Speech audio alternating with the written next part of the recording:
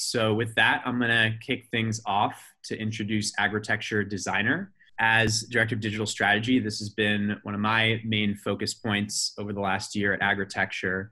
Um, you know, about a year ago or so, when I joined the team, we started looking at the data that we'd accumulated from doing six years of, of urban farming projects around the world, and um, and really looking at the the numbers of those of those farms and one of the things we realized is that we really wanted to come up with a more accessible way to make that data um, open and accessible, but also actionable and have it make sense to people from around the world that were looking to start urban farms, but just were unsure as to what the, the numbers looked like, uh, what kind of budget they would need for uh, indoor hydroponics operation or a simple greenhouse setup.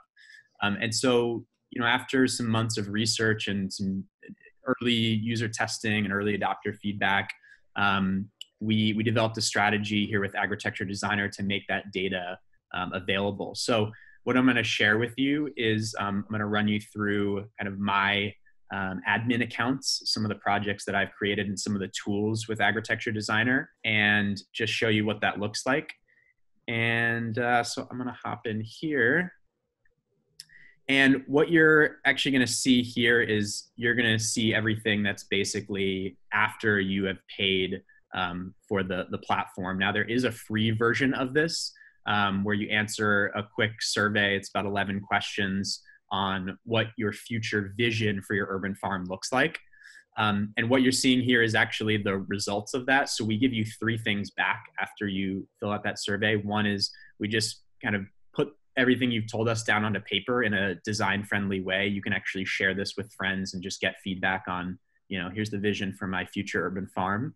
Um, the second is we give you a, a quick project timeline. One of the things we heard a lot from folks that especially did not have any farm planning background was you know what's the order of operations here? How should i think about um, you know moving from step one to, to step two? And how do i how do i understand what the future roadmap looks like um, to get to the point where I actually am growing.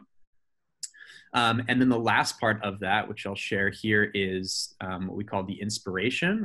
With the inspirations here, what we do from your survey results is we ping our um, back end where we have hundreds of urban farms, of real world urban farm examples from around the world. And we've scored them based on a number of different criteria that kind of matches some of the questions that you'll get asked in that survey. And what we do is we create this relevance score for all of those farms in our system. So based on your specific results, so in my case, it's those those results I shared with my vision there. Um, you'll get three farms back here just for inspiration. So this is meant to really help you understand that you know for almost any concept that you're coming up with, there's going to be um, other real world examples out there that you can pull inspiration from. Um, so you can see here, just based on what I selected, I think I must have selected like a rooftop greenhouse, um, looking at hydroponics or aquaponics, uh, Lufa Farms, BIGH in Brussels, Gotham Greens in Brooklyn, all examples of rooftop um, farming systems. And so um, we just provide some links in here for additional reading from the, um, and then links to the website as well. So again, all that is, is in the free version, but if you do sign up, um, we have two subscription options, either $99 or $249 um, for different access levels. You'll also get those results in this dashboard that you get access to. Okay, so moving into um, basically the, the paid version, um, the education section here hosts our commercial urban farming course. This is a course that we taught over the last three years at our office in Brooklyn and now have, have moved fully online. Um, so it's about two hours and 40 minutes of video content broken into pretty concise five minute or so modules of information. And we have six overall lessons um, that, that make up the commercial urban farming course. So I'm just gonna hop into Henry's section here. Each one is taught by a different expert on our staff. And so you'll see Henry's section. Um, this is a first module, a little eight minute video. We also have additional resources that come with the course. So if you go into this tab, you'll see um, here's where Henry talks about impact categories and talks about fundraising.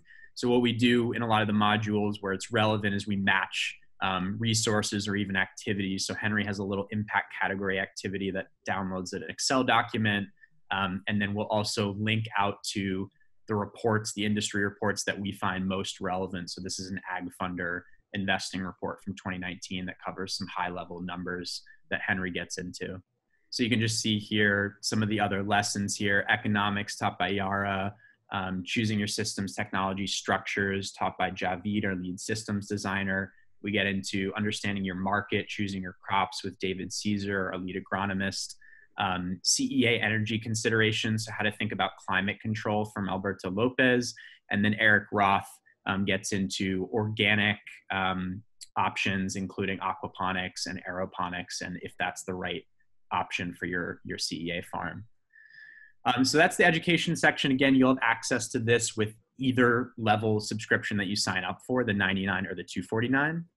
And then I want to move into the last set of features here, which is available just at the 249, the starter bundle.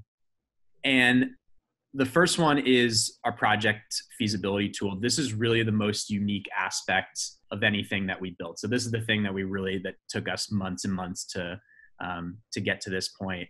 Um, and this is where you can really create a full um, feasibility analysis for really any controlled environment farm. So I'm going to show you just really quickly what the input page looks like, just to show you that, you know, what we try to do here is simplify the process down to, you know, giving you the ability to fill out this form in five minutes or less. Um, so you'll make about 20 different selections, um, but we want to make sure that there's selections that you could make without having to have too deep of a level of knowledge regarding agriculture. So just you know some options here. You'll choose between vertical farm or greenhouse. Um, if you choose greenhouse, you can choose to put that on a roof or not. You'll choose your local currency. We have over 30 different currencies to choose from, um, feet or meters, um, and then answering some options around the land in the building, the site area. You'll select crops. We have nearly 100 different crops that you can choose from from our crop library. Um, and if you're ever unsure, we have these info icons that oftentimes will link out to our Get Help section, um, where we have a ton of FAQs that are preloaded in there. And if you have a question from there, there's a link to get in direct contact with us. Um, there's also some additional links in there to some of the, the best resources that we've found, some of which exist on our Agritecture blog. Um, so a ton of information in that get, get help section. And then I want to show you just quickly what this looks like once you've completed a project is you'll get this financial summary report, um, which we break out into a couple different tabs. Uh, but the main idea here is we really want to provide you with an understanding as to the, the high level numbers. What could your farm achieve from a revenue standpoint? Um, how much is it going to cost you from a budget or capex standpoint?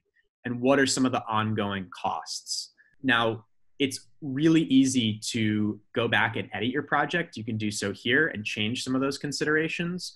Or what you can also do once you've created multiple projects, and you can create unlimited projects in here, is we just launched a comparison tool. So you can actually compare now different completed projects. And what we'll show you is some of the high level numbers down here so that you can compare, oh, okay, you know, for this greenhouse, you know, my capex was a little bit lower um, but my opex was significantly lower, um, right? And so you can compare. Oh, that's probably because I chose a lighter duty uh, greenhouse, for example. Um, but you can also see here, you know, my max annual revenue is much lower than it is here. So, um, so this is a, a tool that we're continuing to kind of build out. Let me go back quickly to the the summary report just to show you some of the other numbers that we provide. Um, you have jobs created, potential population fed, and again, info icons to explain um, if you have questions as to what these mean. CapEx breakout. You have your operating expense breakout and an annual summary. This is a 15 year annual projections for the farm. Now, one of the things I want to mention is we're always trying to use user feedback. We launched this platform about two months ago um, to the general public. So we're always using your feedback to create new little features in here. So like one idea that people have given us recently is, hey, you know, rather than going back and editing my project, it'd be great if I could if I could change some options um, in the capex breakout. If, for example, I saw that you know this budget was a little beyond. Let's say I had a budget of three hundred thousand dollars this is 39K over my budget.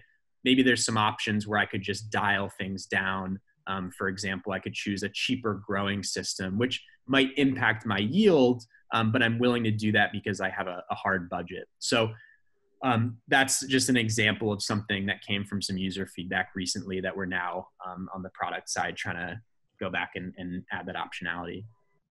The last thing I want to mention just really quickly is you might have some questions around maximum or, or your revenue of your farm in general.